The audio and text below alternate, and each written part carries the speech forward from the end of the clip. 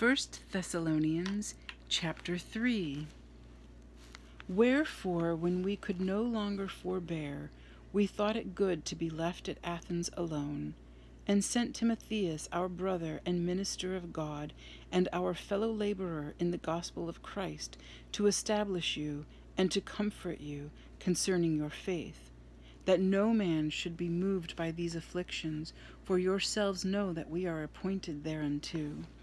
For verily, when we were with you, we told you before that we should suffer tribulation, even as it came to pass, and ye know. For this cause, when I could no longer forbear, I sent to know your faith, lest by some means the tempter have tempted you, and our labor be in vain.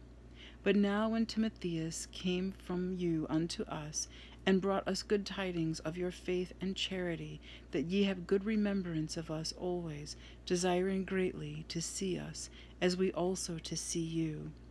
Therefore, brethren, we were comforted over you in all our affliction and distress by your faith.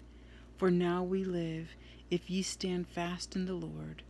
For what thanks can we render to God again for you, for all the joy wherewith we joy for your sakes before our God? night and day, praying exceedingly that we might see your face and might perfect that which is lacking in your faith. Now God Himself and our Father and our Lord Jesus Christ direct our way unto you. And the Lord make you to increase and abound in love one toward another, and toward all men, even as we do toward you.